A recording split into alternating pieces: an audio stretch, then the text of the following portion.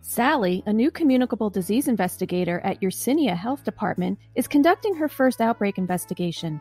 In the last video, her supervisor Evelyn provided Sally with important information about public health regulations and other related issues.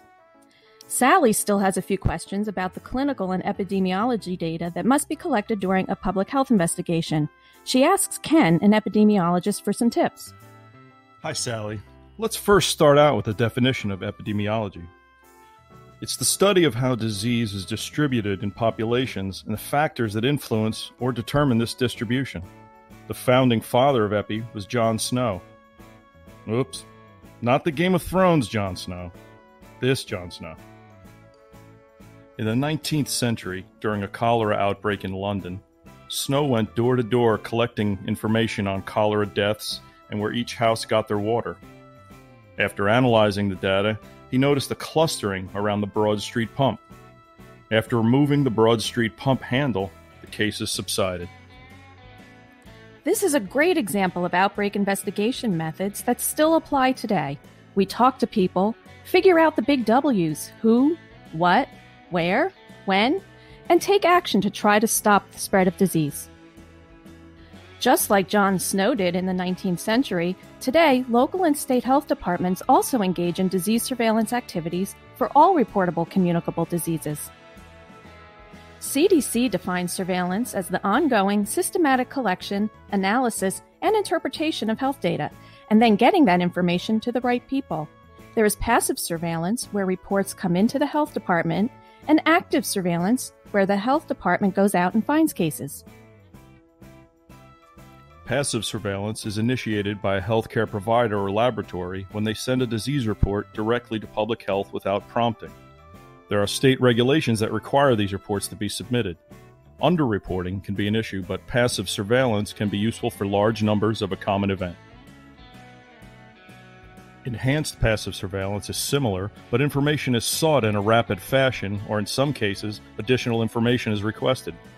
This type of surveillance is helpful in outbreak situations when information about a case is needed to guide outbreak investigation and response. This is often referred to as a call for cases. Active surveillance is initiated by the public health community. It is used when information is needed faster than passive surveillance can produce, or when additional information, not often collected by passive surveillance, is needed. Active surveillance is critical for rare events. It requires additional resources and might only be useful for only a short period of time. An example of active surveillance would be a local health department calling local emergency departments every hour for any cases with symptoms associated with chemical exposure. Let's take a look at an example of a foodborne illness outbreak. 10 cases came through to the Yersinia Health Department via CDRSS. We are going to collect data from all the case reports and from the patients themselves. It's very important for us to figure out disease onset and a case definition. Incubation period is the time period from when a person is exposed to a germ, most commonly a bacteria or virus, to when they develop symptoms. This time period varies for each disease. The incubation period for Salmonella can vary from 6 to 72 hours. Some diseases have a long incubation period, such as scabies, which can be up to 8 weeks. The incubation period is important to know as it can help determine when the exposure occurred and eliminate, remove, or reduce the exposure so others do not become ill. For the Salmonella outbreak, we can look back 6 to 72 hours from each person's symptom onset to estimate when the exposure occurred. Disease onset is the time when the individual begins to feel ill and is often associated with the first symptom of illness, such as fever, diarrhea, or rash. Remember that people can carry a disease without feeling ill. This is called asymptomatic. For certain diseases, even if a person doesn't feel sick, they may still be able to transmit disease to others. For a salmonella infection, disease onset might present as nausea, vomiting, abdominal cramps, diarrhea, fever, chills, headache, and or blood in the stool. Each disease is different, and you'll need to research the signs for your specific outbreak. You may need to help the person remember the exact timing of symptoms. Showing a calendar may help. Infectious period or shedding is a term that refers to the time period when an individual is capable of passing the germ to another person. Again, the infectious period varies by disease, it may be long or short. In each outbreak, we should work to form a clear case definition. It sets criteria to determine if a person is classified as having a disease or not. Outbreak case definitions are used to characterize if individual cases are associated with an outbreak. They typically include a date and place component, along with clinical and laboratory information. Using an outbreak case definition ensures standardization, meaning that everyone is being counted the same. It can be different than an individual case definition used for disease surveillance. Let's look at an example of a surveillance case definition versus an outbreak case definition.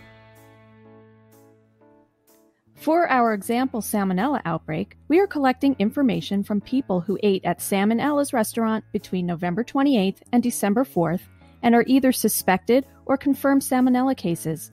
Their symptom onset would be somewhere between December 1st and December 7th. It is possible for someone to be sick with an illness and not be counted. Using the salmonella example, if we set December 1st as the onset date for tracking cases associated with this outbreak and an individual became ill on November 15th, it doesn't mean they weren't ill. It just means they didn't meet our criteria for this outbreak. A line list is a list of people who are ill.